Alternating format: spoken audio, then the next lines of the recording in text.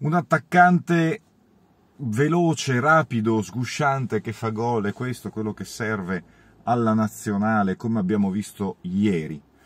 Oh, naturalmente non sto parlando di immobile, sto parlando di Lapadula che ha segnato una doppietta nel Perù, che tra l'altro poi è una partita che è andata 3 a 3, è finita ai calci di rigore, c'è su di tutto. Insomma, al di là delle battute, ehm, credo che ieri sera ci siamo tolti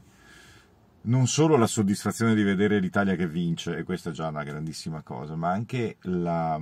piacevole scoperta che in Italia si può fare un altro calcio, che in Italia si può fare gioco, che si può sopraffare l'avversario attraverso il palleggio, attraverso l'organizzazione, attraverso la scelta di elementi utili al tuo gioco. La partita ieri sera ci ha regalato anche altre due considerazioni da fare. La prima è che, anzi più che una considerazione è un consiglio. Quindi ci ha regalato un consiglio che voglio darvi e poi un'altra considerazione. Il consiglio che voglio darvi è questo. Non lo so, non lo so, spero di sì naturalmente, ma non lo so quante altre volte potrà capitare di vedere una nazionale italiana giocare così. Una nazionale italiana affrontare tutti con, con questo spirito e andare avanti nella competizione ed essere favorita per la vittoria finale. Io ho avuto la fortuna di vivere, beh, ovviamente non in maniera consapevole l'82, in maniera molto consapevole il 2006, ma anche il 2000, insomma anche il 94. E, ehm, sono esperienze uniche, sono emozioni per chi ama questo sport naturalmente, poi invece c'è chi ama soltanto la contestazione e la polemica, chi deve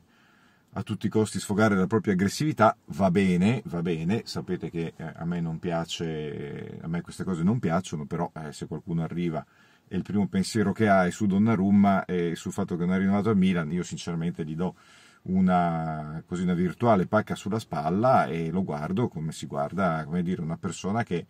eh, per la quale ci si dispiace perché in questo momento con questa squadra in questa situazione mm, non, non, godersela è veramente un peccato. Ripeto, non so quante volte possa capitare, quante altre volte potrà capitare questa cosa,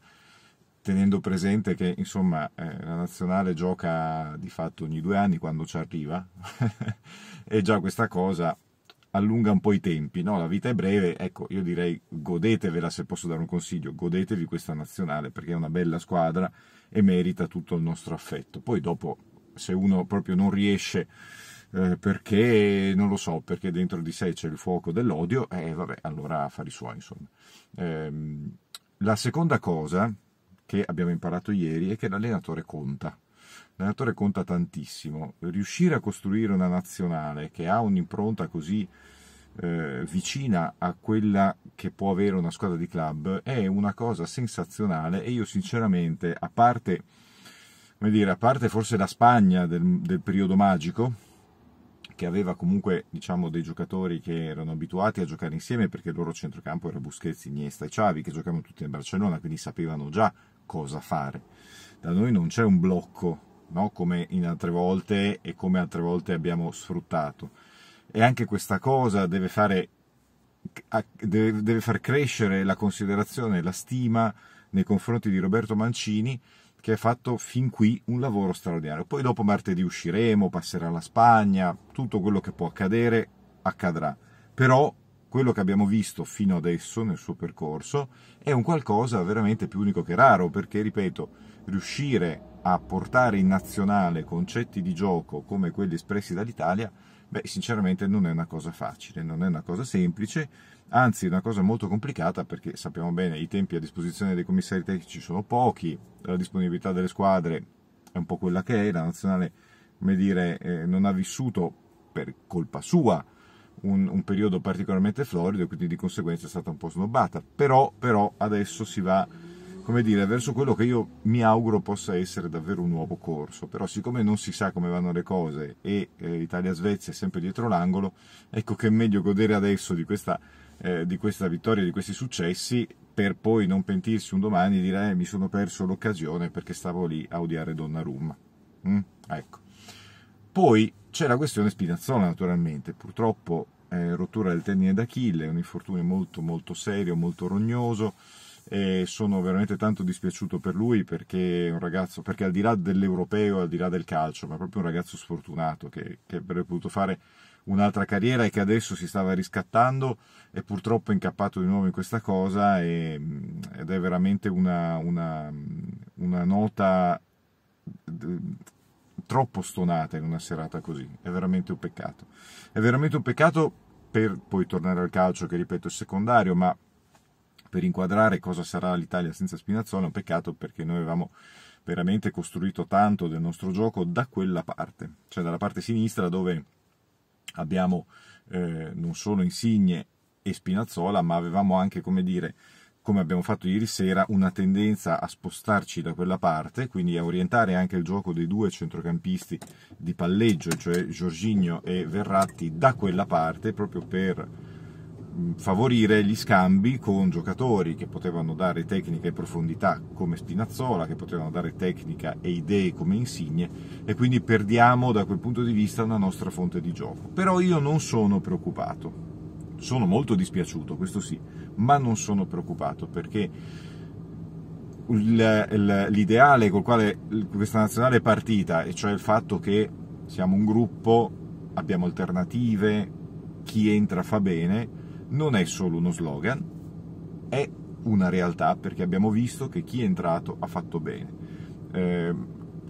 chi più chi meno, ma tutti hanno dato il loro contributo, abbiamo visto Rocatelli, abbiamo visto Pessina, abbiamo visto Chiesa, eh, abbiamo visto Cristante ieri sera, tutti quelli che sono entrati hanno dato il loro contributo. Sono convinto che Mancini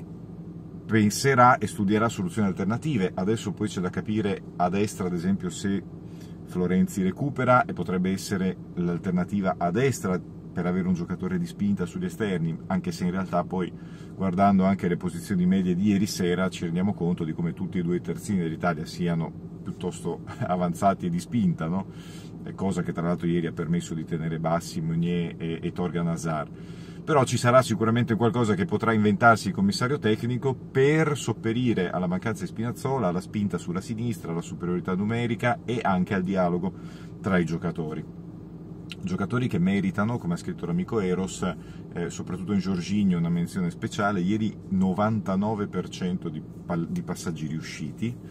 Ehm, Verratti anche è stato quello, adesso non mi ricordo la statistica, ma l'ho letta, mi pare il giocatore che ha completato il maggior numero, non, me lo ricordo, comunque anche lui numeri pazzeschi da un punto di vista statistico, insomma un centrocampo così più Barella con poi Locatelli e Pessina in panchina che voglio dire sono due, altri due giocatori che eh, potrebbero essere titolari in altre nazionali, eh? perché adesso noi siamo sempre, come dire, e giustamente affascinati da, eh, dai Witzel, dai Tilemans, da tutta sta gente qua, però ieri, eh, ieri non l'hanno vista sinceramente, hanno vista poco, hanno faticato tanto, quindi adesso dobbiamo anche elevare giustamente a un altro livello i nostri giocatori che sono nelle prime quattro squadre d'Europa, si giocano una semifinale da favoriti, così come erano favoriti ieri sera, stando le quote. Ieri sera Emanuele mi ha già mandato le quote e posso dirvi che anche per la partita di martedì siamo favoriti, ma questo insomma, conta il giusto. Però dobbiamo cominciare, secondo me, a guardare i nostri con un altro occhio, con l'occhio di, un, di una squadra che ha un centrocampo straordinario, probabilmente il migliore eh, centrocampo, anzi mm, no, ha il migliore centrocampo d'Europa e di conseguenza diciamo del mondo, se avete seguito un po' la Coppa America vi renderete conto di come alla fine il calcio europeo sia il calcio che conta e quello sudamericano sia molto in declino, dico purtroppo, ma molto in declino rispetto a qualche decennio fa. E, e questa cosa va assolutamente evidenziata perché veramente riuscire a gestire pa- il pallone nel modo con cui l'hanno gestito ieri sera i nostri è un qualcosa di, ripeto, di un livello superiore e che non abbiamo visto tante volte la, in, in, nazionale. Eh? Abbiamo avuto de, de, delle squadre che a centrocampo erano forti, abbiamo avuto sicuramente Pirlo, però eh, giocatori così combinati tra di loro con le caratteristiche per potersi per poter gestire il pallone in un certo modo e non l'abbiamo avuto tante volte. Ecco perché ritorno all'inizio, come nel Monopoli. Godetevi questa nazionale, godetevela perché non si sa che cosa capiterà. È un po' come la vita. Cercate di godervi la vita, se, ma proprio non è un consiglio il mio perché non do consigli a nessuno, non sono nessuno per dare consigli, è solo così un invito, diciamo, un invito. Questa è un po' la mia filosofia di vita. Eh, godetevi i momenti, godetevi serate come quella di ieri sera e, e, fate il tifo per l'Italia, oppure se non vi piace non fate il tifo per l'Italia, ignoratela, ma non, non fatevi prendere dalla, eh, così da, da, da, da bisogno di dover attaccare quello perché ha vestito la maglia del Milan, quell'altro perché non ha rinnovato, quell'altro perché adesso è Italia, adesso è Italia. Pensiamo, mi allargo un pelo, eh, poi se, se, divento profeta me lo dite e come diceva Beppe Grino mi metto il naso rosso, ma pensiamo anche a un, a un livello un po' più grande, più fuori dal calcio, a superare certe cose perché secondo me farebbe bene un po' alla vita di tutti quanti, ecco. Mm. Pensiero del sabato mattina, visto che sono immerso nella gioia e anche un po' nella stanchezza della, della serata di ieri, voglio lanciare questo messaggio all'umanità. Buon sabato a tutti amici. Ci sentiamo stasera eh, per parlare delle due partite perché poi stasera andremo a, sapere, andremo a conoscere chi dall'altra parte arriva tra Inghilterra e Ucraina, stasera Roma, poi c'è Danimarca e Repubblica Ceca. Ci vediamo nel corso della giornata.